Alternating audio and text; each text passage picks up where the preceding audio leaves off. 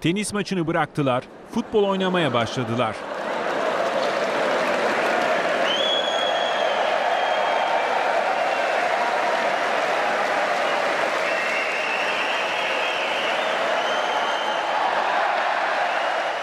Almanya'da düzenlenen Hale Açık turnuvasında iki Fransız tenisçi Joe Wilfried Songa ile Benoit Paire karşı karşıya getiren maç ilginç bir ana sahne oldu.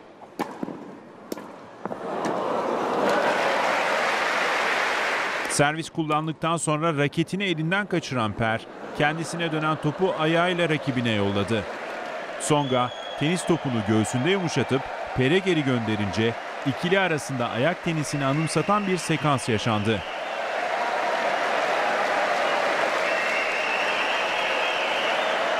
İki Fransız tenisçinin ayak rallisi Per'in volesiyle son buldu. Karşılaşmayı Tsonga 6-4, 7-5'lik setlerle kazanarak bir üst tura yükseldi. 7-5, 6-4, 7-5.